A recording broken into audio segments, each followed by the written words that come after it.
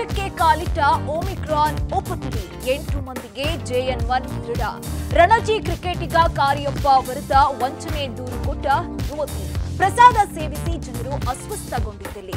ಬೆಂಗಳೂರಿನಲ್ಲಿ ಗ್ಯಾಸ್ ಗೀಸರ್ಗೆ ಮತ್ತೊಂದು ಹುಲಿ ಅನ್ನದಾತರ ಬಗ್ಗೆ ಸಚಿವ ಶಿವಾನಂದ ಪಾಟೀಲ್ ವಿವಾದ, ವಿಪಕ್ಷ ನಾಯಕರಿಂದ ಟೀಕೆ ಖಂಡನೆ. ಎಲ್ಲದರ ಮಾಹಿತಿ ಕರ್ನಾಟಕ ಟಾಪ್ ಟ್ವೆಂಟಿಯಲ್ಲಿ.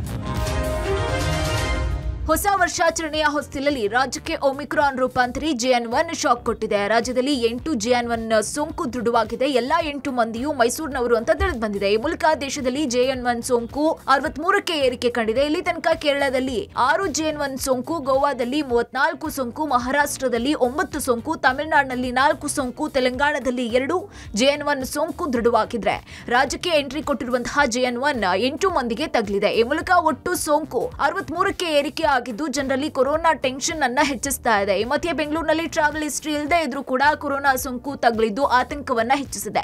ಮತ್ತಷ್ಟು ಕೋವಿಡ್ ಆತಂಕಕ್ಕೆ ರಾಜ್ಯದ ಹವಾಮಾನ ಕಾರಣವಾಗ್ತಾ ಇದೆ. ರಾಜ್ಯದಲ್ಲಿ ದಿಢೀರ್ ತಾಪಮಾನ ಕುಸಿತಗೊಂಡಿದ್ದು ಫೆಬ್ರವರಿ ಮೊದಲ ವಾರದ ತನಕ ಚಳಿ ಹೆಚ್ಚಳ ಸಾಧ್ಯತೆ ಇದೆ. ಚಳಿ ಹೆಚ್ಚಳ ಬೆನ್ನಲ್ಲೇ ಕೋವಿಡ್ ಸೋಂಕು ಹೆಚ್ಚಾಗುವ ಆತಂಕ ಶುರುವಾಗಿದೆ. ಉತ್ತರ ಭಾರತದಿಂದ ದಕ್ಷಿಣದ ತನಕ ಪ್ರಬಲ ಶೀತಗಾಳಿ ಬೀಸ್ತಾ ಇರೋ ಪರಿಣಾಮ ಚಳಿ ಹೆಚ್ಚಳ ಆಗಿದೆ. ರಾಜ್ಯದಲ್ಲಿ ಕೊರೋನಾ ಉಪತಳಿ ಆತಂಕ ಹೆಚ್ಚಾಗಿದೆ. ರಾಜ್ಯಕ್ಕೆ ಜನವರಿ ತಿಂಗಳು ನಿರ್ಣಾಯಕ ಅಂತ ಕೋವಿಡ್ ತಜ್ಞರು ಹೇಳ್ತಾ ಇದ್ದಾರೆ. ಹೀಗಾಗಿ ಹೊಸ ವರ್ಷಾಚರಣೆಗೆ ಈ ಬಾರಿ ನಿರ್ಬಂಧ ಬೀಳುತ್ತಾ ಎಂಬ ಚರ್ಚೆ ಶುರುವಾಗಿದೆ. ಡಿಸೆಂಬರ್ ಇಪ್ಪತ್ತೇಳಕ್ಕೆ ಸಂಪುಟ ಉಪಸಮಿತಿ ಮತ್ತು ತಾಂತ್ರಿಕ ಸಲಹಾ ಸಮಿತಿಯ ಹೈ ವೋಲ್ಟೇಜ್ ಸಭೆ ಇದ್ದು, ಕೋವಿಡ್ ಮಾರ್ಗಸೂಚಿ ಮತ್ತೆ ಚೇಂಜ್ ಆಗುತ್ತಾ ಅಂತ ಹೇಳಲಾಗ್ತಾ ಇದೆ. ಸಭೆ ಬಳಿಕ ಮಾಲ್, ಪಬ್ ಕ್ಲಬ್ಗಳಿಗೆ ಹೊಸ ಗೈಡ್ಲೈನ್ಸ್ ರಿಲೀಸ್ ಮಾಡುವ ಸಾಧ್ಯತೆ ಇದೆ.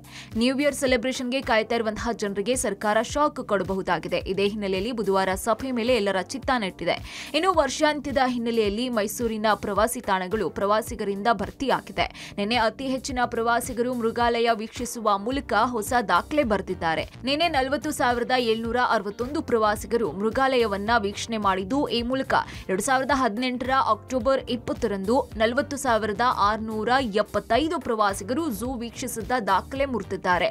ಕಳೆದ ನಾಲ್ಕು ದಿನಗಳಿಂದ ಒಂದು ಲಕ್ಷ ಪ್ರವಾಸಿಗರು ಝೂ ವೀಕ್ಷಣೆ ಮಾಡಿದ್ದಾರೆ.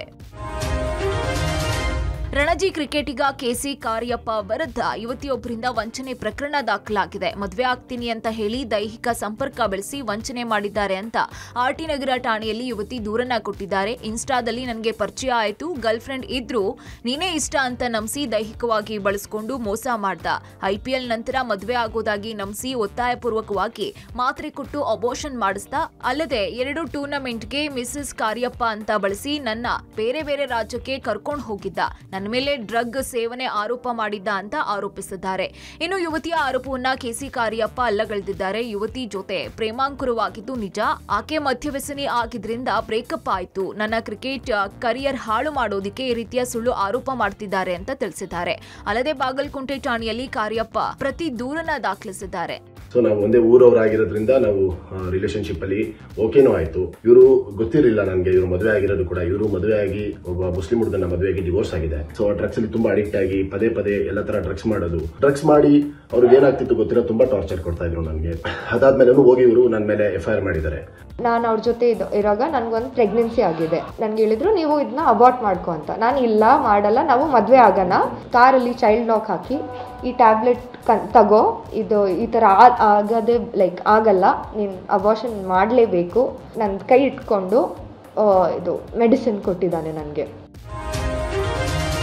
ಹನುಮ ಜಯಂತಿ ಹಿನ್ನೆಲೆಯಲ್ಲಿ ದೇವಾಲಯಗಳಲ್ಲಿ ವಿತರಿಸಿದಂತಹ ಪ್ರಸಾದವನ್ನ ಸೇವಿಸಿ ಹಲವರು ಅಸ್ವಸ್ಥಗೊಂಡು ಓರ್ವ ಮಹಿಳೆ ಸಾವನ್ನಪ್ಪಿದ ಘಟನೆ ಹೊಸಕೋಟೆ ನಗರದಲ್ಲಿ ನಡೆದಿದೆ. ಹೊಸಕೋಟೆ ನಗರದ ವೆಂಕಟರಮಣ ಸ್ವಾಮಿ ಊರುಬಾಕಿಲು ಆಂಜನೇಯ ಸ್ವಾಮಿ, ಕೋಟೆ ಆಂಜನೇಯ ಸ್ವಾಮಿ ದೇವಸ್ಥಾನದಲ್ಲಿ ಪ್ರಸಾದವನ್ನ ವಿತರಣೆ ಮಾಡಲಾಗಿತ್ತು. ಪುಳಿಯೋಗ್ರೆ, ಪಾಯಸ, ಲಡ್ಡುವನ್ನ ಸೇವಿಸಿದಂತಹ ಭಕ್ತರಿಗೆ ಫುಡ್ ಪಾಯ್ಸನ್ ಆಗಿ ವಾಂತಿ ಭೇದಿ ಆಗಿತ್ತು. ಅಸ್ವಸ್ಥರಿಗೆ ಹೊಸಕೋಟೆ ಖಾಸಗಿ ಆಸ್ಪತ್ರೆ ಕೋಲಾರ, ಬೆಂಗಳೂರು ಆಸ್ಪತ್ರೆಯಲ್ಲಿ ಚಿಕಿತ್ಸೆಯನ್ನ ಕೊಡಿಸಲಾಯಿತು. ಆದರೆ ಚಿಕಿತ್ಸೆ ಫಲಕಾರಿ ಆಗದೆ ಅರವತ್ತೈದು ವರ್ಷದ ಸಿದ್ದಮ್ಮ ಸಾವನ್ನಪ್ಪಿದ್ದಾರೆ. ಇನ್ನು ಹದಿನೈದಕ್ಕೂ ಅಧಿಕ ಜನರ ಸ್ಥಿತಿ ಗಂಭೀರವಾಗಿದ್ದು ಆಸ್ಪತ್ರೆಯಲ್ಲಿ ನರಳಾಡ್ತಾ ಇದ್ದಾರೆ. ಇನ್ನು ಹೊಸಕೋಟೆ ಎಸ್ಪಿ ಮಲ್ಲಿಕಾರ್ಜುನ ಬಾಲತಂಡಿ ಭೇಟಿ ನೀಡಿ ಪರಿಶೀಲನೆಯನ್ನ ನಡೆಸಿದ್ರು. ಇನ್ನು ನಾಲ್ಕು ಖಾಸಗಿ ಆಸ್ಪತ್ರೆಗಳಲ್ಲಿ ಎಂಬತ್ತಕ್ಕೂ ಹೆಚ್ಚು ಜನ ಅಡ್ಮಿಟ್ ಆಗಿದ್ದಾರೆ. ಎಲ್ಲಾ ಸ್ಯಾಂಪಲ್ ಅನ್ನ ಲ್ಯಾಬ್ಗೆ ಕಳುಹಿಸಲಾಗಿದೆ. ಲ್ಯಾಬ್ ವರದಿ ಬಂದ ಮೇಲೆ ಎಲ್ಲ ಗೊತ್ತಾಗುತ್ತೆ ಅಂತ ಹೊಸಕೋಟೆ ಪ್ರಭಾರ ಡಾಕ್ಟರ್ ಸುಮಾ ಮಾಹಿತಿಯನ್ನ ಕೊಟ್ಟಿದ್ದಾರೆ. ಈಗಾಗಲೇ ಸುಮಾರು ನಮ್ಮ ಐ ಸಿ ಒಳಗಡೆ ಹತ್ತು ವೆಂಟಿಲೇಟರ್ ಬೆಡ್ ಏನಿದೆ, ಹತ್ತು ವೆಂಟಿಲೇಟರ್ ಬೆಡ್ ಕಂಪ್ಲೀಟ್ ಫುಲ್ ಆಗಿದೆ. ಮತ್ತೆ ಎರಡನೇ ಫ್ಲೋರ್ ಅಲ್ಲಿ ಇವ್ರಿಗೆ ಅಂತ ಸಪ್ರೇಟ್ ಇಂಟೆನ್ಸಿವಿಸ್ಟು ಸಪ್ರೇಟ್ ಡಾಕ್ಟರು ಇಟ್ಬಿಟ್ಟು ಇವಾಗ ಒಂದು ವಾರ್ಡ್ ಓಪನ್ ಮಾಡಿದ್ವಿ. ಅದರಲ್ಲಿ ಇವಾಗ ಆಲ್ಮೋಸ್ಟ್ ಏಳರಿಂದ ಎಂಟು ಪೇಷಂಟ್ ಕ್ರಿಟಿಕಲ್ ಆಗಿದ್ದಾರೆ. ಮಿಕ್ಕವರು ಸ್ಟೇಬಲ್ ಆಗಿದ್ದಾರೆ. ಇವ್ರದ್ದು ಎಲ್ರದ್ದು ಔಟ್ಪುಟ್ ಅಂದ್ರೆ ಯೂರಿನ್ ಔಟ್ಪುಟ್ ಇವೆಲ್ಲ ಏನು ಬರ್ತಾ ಇಲ್ಲ. ಸಿವಿಯರ್ ಡಿಹೈಡ್ರೇಷನ್ ಅಲ್ಲಿ ಇದ್ದಾರೆ ಬೆಂಗಳೂರಿನಲ್ಲಿ ಗ್ಯಾಸ್ ಗೀಸರ್ಗೆ ಮತ್ತೊಂದು ಬಲಿಯಾಗಿದೆ. ಕಾಮಾಕ್ಷಿಪಾಳ್ಯ ಮೀನಾಕ್ಷಿ ನಗರದಲ್ಲಿ ಇಪ್ಪತ್ಮೂರು ವರ್ಷದ ರಾಜೇಶ್ವರಿ ಸಾವನ್ನಪ್ಪಿದ್ದಾರೆ. ಖಾಸಗಿ ಕಂಪನಿಯಲ್ಲಿ ಕೆಲಸ ಮಾಡ್ತಾ ಇದ್ದ ಮೃತ ಯುವತಿ ಅಣ್ಣನ ವಿವಾಹದ ಹಿನ್ನೆಲೆ ರಜೆ ಹಾಕಿ ಮನೆಯಲ್ಲಿದ್ದರು ಸ್ನಾನ ಮಾಡೋಕೆ ಹೋಗಿದ್ದಾಗ ಗ್ಯಾಸ್ ಗೀಸರ್ನಿಂದ ಸೋರಿಕೆಯಾದ ವಿಷ ಅನಿಲದಿಂದ ಪ್ರಜ್ಞೆ ತಬ್ಬಿದ್ದಾರೆ ತಕ್ಷಣ ಆಸ್ಪತ್ರೆಗೆ ದಾಖಲಿಸಿದ್ರು, ಯುವತಿ ಬದುಕುಳಿದಿಲ್ಲ. ಇನ್ನು ಹೇಮಾವತಿ ನದಿ ಹಿನ್ನೀರಿನಲ್ಲಿ ಮುಳುಗಿ ಯುವತಿ ಸಾವನ್ನಪ್ಪಿದ್ದಾಳೆ. ಹತ್ತೊಂಬತ್ತು ವರ್ಷದ ನಿತ್ಯ ಮೃತ ಯುವತಿ ಹಾಸನ ತಾಲೂಕಿನ ಗುರೂರಿನ ಹೇಮಾವತಿ ಜಲಾಶಯದ ಹಿನ್ನೀರಿನಲ್ಲಿ ಘಟನೆಯಾಗಿದ್ದು ಹನುಮ ಜಯಂತಿ ಹಿನ್ನೆಲೆ ಸಂಬಂಧಿಕರೊಂದಿಗೆ ಅರಳಿಕಟ್ಟೆ ಗ್ರಾಮದ ಆಂಜನೇಯ ಸ್ವಾಮಿ ದೇವಸ್ಥಾನಕ್ಕೆ ಹೋಗಿದ್ರು. ಈ ವೇಳೆ ಪೂಜೆ ಸಲ್ಲಿಸಿ ಹೇಮಾವತಿ ಹಿನ್ನೀರಿನಲ್ಲಿ ಆಟ ಆಡ್ತಾ ಇದ್ದಾಗ ನೀರಿಗೆ ಬಿದ್ದು ನೀರಿನಲ್ಲಿ ಮುಳುಗಿ ಮೃತಪಟ್ಟಿದ್ದಾಳೆ. ಇತ್ತೀಚೆಗಷ್ಟೇ ರೈತರಿಗೆ ಪರಿಹಾರ ನೀಡಿದ ಬಳಿಕ ರೈತರ ಆತ್ಮಹತ್ಯೆ ಸಂಖ್ಯೆಗಳು ಹೆಚ್ಚಾಗ್ತಾ ಇದೆ ಅಂತ ವಿವಾದ ಸೃಷ್ಟಿ ಮಾಡಿದ್ದ ಸಚಿವ ಶಿವಾನಂದ ಪಾಟೀಲ್ ಮತ್ತೊಮ್ಮೆ ರೈತರ ಬಗ್ಗೆ ಲಘುವಾಗಿ ಮಾತನಾಡಿದ್ದಾರೆ ಸಾಲಮನದ ಆಸೆಗಾಗಿ ಬರಗಾಲ ಬರಲಿ ಅಂತ ರೈತರು ಕಾಯ್ತಾರೆ ಅಂತ ಅನ್ನದಾತರ ಬಗ್ಗೆ ಸಚಿವ ಶಿವಾನಂದ ಪಾಟೀಲ್ ಹಗುರವಾಗಿ ಮಾತಾಡಿದ್ದಾರೆ. ಬೆಳಗಾವಿ ಜಿಲ್ಲೆಯ ಅಥಣಿ ತಾಲೂಕಿನ ಸೊಟ್ಟಟ್ಟಿ ಗ್ರಾಮದ ಗ್ರಾಮೀಣ ಕೃಷಿ ಸ್ವಸಹಾಯ ಸಂಘದ ಉದ್ಘಾಟನಾ ಕಾರ್ಯಕ್ರಮದಲ್ಲಿ ಮಾತನಾಡಿದ ಸಕ್ಕರೆ ಸಚಿವ ಶಿವಾನಂದ ಪಾಟೀಲ್, ವಿದ್ಯುತ್, ಗೊಬ್ಬರ, ಬೀಜಗಳನ್ನ ಪುಕ್ಕಟ್ಟೆ ಕೊಟ್ಟರು ರೈತರಿಗೆ ಬರಗಾಲ ಬೀಳಲಿ ಅನ್ನುವ ಆಸೆ ಇರುತ್ತೆ. ಬರಗಾಲ ಬಂದ್ರೆ ರೈತರು ಸಾಲ ಮನ್ನಾದ ನಿರೀಕ್ಷೆ ಇಟ್ಕೊಳ್ತಾರೆ ಅಂದಿದ್ದಾರೆ ಹಿಂದಿನ ಸರ್ಕಾರಗಳು ಸಾಲ ಮನ್ನಾ ಮಾಡಿದೆ. ಆದ್ರೆ ಸರ್ಕಾರ ಸಂಕಷ್ಟದಲ್ಲಿದ್ದಾಗ ಅದು ಕಷ್ಟ ಸಾಧ್ಯ ಸರ್ಕಾರ ಸದಾ ನೆರವಿಗೆ ಬರೋಕೆ ಸಾಧ್ಯ ಇಲ್ಲ. ಈ ಎಲ್ಲಾ ವಿಚಾರಗಳನ್ನ ಗಮನದಲ್ಲಿ ಇಟ್ಕೊಂಡು ರೈತರು ಬೆಳೆ ಬೆಳಿಬೇಕು ಅಂದಿದ್ದಾರೆ. ಕೃಷ್ಣಾ ನದಿ ನೀರು ಪುಕ್ಕಟ್ಟದ ಕರೆಂಟು ಪುಕ್ಕಟ್ಟದ, ಮತ್ತು ಬಹಳಷ್ಟು ಮುಖ್ಯಮಂತ್ರಿಗಳು ಬೀಜಾನು ಕೊಟ್ಟರು ಗೊಬ್ಬರನು ಕೊಟ್ಟರು ಇನ್ನ ರೈತರಿಗೆ ಏನಪ್ಪಾ ಅಂತಂದ್ರೆ ಒಂದೇ ಆಸೆ ಇರ್ತದ, ಮಗನ್ ಮ್ಯಾಗ ಮ್ಯಾಗ ಬರಗಾಲ ಬೀಳಲಿ ಅಂತೇಳಿ ಯಾಕಂದ್ರೆ ಅದು ಸಾಲ ಮನ್ನಾ ಆಗ್ತದ. ಹಂಗ ಬಯಸ್ಬಾರ್ದು. ಕೃಷ್ಣಾ ನದಿ ನೀರು ಪುಕ್ಕಟ್ಟದ ಕರೆಂಟು ಪುಕ್ಕಟ್ಟದ, ಮತ್ತು ಬಹಳಷ್ಟು ಮುಖ್ಯಮಂತ್ರಿಗಳು ಬೀಜಾನು ಕೊಟ್ಟರು ಗೊಬ್ಬರನು ಕೊಟ್ಟರು ಇನ್ನ ರೈತರಿಗೆ ಏನಪ್ಪ ಅಂತಂದ್ರೆ ಒಂದೇ ಆಸೆ ಇರ್ತದೆ, ಮಗನ್ ಮ್ಯಾಗ ಮ್ಯಾಗ ಬರಗಾಲ ಬೀಳಲಿ ಅಂತೇಳಿ ಯಾಕಂದ್ರೆ ಸಾಲ ಮನ್ನಾ ಆಗ್ತದೆ. ಹಂಗ ಬಯಸ್ಬಾರ್ದು. ಇನ್ನು ತಮ್ಮ ಹೇಳಿಕೆಗೆ ತೀವ್ರ ಖಂಡನೆ ಟೀಕೆಗಳು ವ್ಯಕ್ತ ಆದ ಬೆನ್ನಲ್ಲೇ ಸಚಿವ ಶಿವಾನಂದ ಪಾಟೀಲ್ ತಮ್ಮ ಹೇಳಿಕೆಗೆ ಸ್ಪಷ್ಟನೆ ಕೊಟ್ಟಿದ್ದಾರೆ. ನಾನು ರೈತ ವಿರೋಧಿ ಅಲ್ಲ, ರೈತ ವಿರೋಧವಾಗಿ ಯಾವುದೇ ಹೇಳಿಕೆ ಕೊಟ್ಟಿಲ್ಲ. ನಾನು ರೈತರ ಪರವಾಗಿದ್ದೀನಿ. ರೈತರು ಸ್ವಾವಲಂಬಿಯಾಗಿ ಬದುಕಬೇಕು. ಯಾವುದೇ ಸರ್ಕಾರದ ಹಣದ ಮೇಲೆ ಅವಲಂಬಿತರಾಗಬಾರದು ಅಂದಿದ್ದಾರೆ. ಸರ್ಕಾರಗಳು ಅದಕ್ಕೆ ನೀತಿ ನಿಯಮಗಳನ್ನು ಮಾಡಬೇಕು. ಈ ನಿಟ್ಟಿನಲ್ಲಿ ಸರ್ಕಾರಗಳು ಕಾನೂನು ಜಾರಿಗೆ ತರಬೇಕು. ವಿರೋಧ ಪಕ್ಷದವರು ನನ್ನ ಹೇಳಿಕೆಯನ್ನು ತಿರುಚುತ್ತಾ ಇದ್ದಾರೆ. ಕೇಂದ್ರ ಸರ್ಕಾರ ಕೊಬ್ಬರಿ, ಈರುಳ್ಳಿ, ರಫ್ತು ಬ್ಯಾನ್ ಮಾಡಿದ್ದಾರೆ. ಇದೆಲ್ಲ ಲೋಕಸಭೆ ಚುನಾವಣೆ ಹಿನ್ನೆಲೆಯಲ್ಲಿ ವಿರೋಧ ಪಕ್ಷದವರು ಮಾಡ್ತಾ ಇದ್ದಾರೆ ಅಂತ ಆರೋಪಿಸಿದ್ರು. ಇನ್ನು ನನಗೆ ಮದ ಏರಿಲ್ಲ. ನನ್ನ ಹೇಳಿಕೆಯನ್ನು ತಿರುಚಲಾಗಿದೆ. ಇದೆಲ್ಲ ರಾಜಕೀಯ ಗಿಮಿಕ್. ಬಿಜೆಪಿ ನಾಯಕರಿಗೆ ರೈತರ ಮೇಲೆ ಕರುಣೆ ಇದ್ರೆ ಕೇಂದ್ರ ಸರ್ಕಾರ ನೀತಿಗಳನ್ನ ಬದಲಾಯಿಸಲಿ. ವಿರೋಧ ಪಕ್ಷದ ನಾಯಕರು ರೈತರ ಸಮಸ್ಯೆ ಬಗ್ಗೆ ಪ್ರಧಾನಿ ಮೋದಿ ಗಮನಕ್ಕೆ ತರಲಿ ಅಂದಿದ್ದಾರೆ ಇತ್ತ ಸಚಿವರಾದ ಎಂಬಿ ಪಾಟೀಲ್, ಭೈರತಿ ಸುರೇಶ್ ಫ್ಲೋನಲ್ಲಿ ಹೇಳಿರಬೇಕು ಅಂತ ಸಮರ್ಥನೆಗೆ ಹೇಳ್ತಿದ್ದಾರೆ. ನೀವು ಅವ್ರನ್ನೇ ಕೇಳ್ಬೋದು, ಯಾಕಂದ್ರೆ ನಾನು ಅದನ್ನ ನನಗೆ ಗೊತ್ತಿಲ್ಲ. ಅವ್ರು ಏನು ಹೇಳಿದ್ದಾರೆ, ಯಾವ ಅರ್ಥದಲ್ಲಿ ಹೇಳಿದ್ದಾರೆ, ಯಾವ ಸಂದರ್ಭದಲ್ಲಿ ಹೇಳಿದ್ದಾರೆ.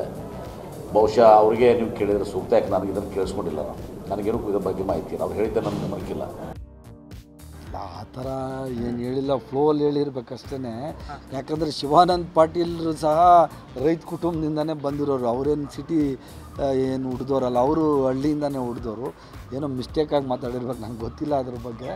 ಆದರೆ ರೈತರ ಬಗ್ಗೆ ಅವ್ರ ಕಾಳಜಿ ಇದೆ.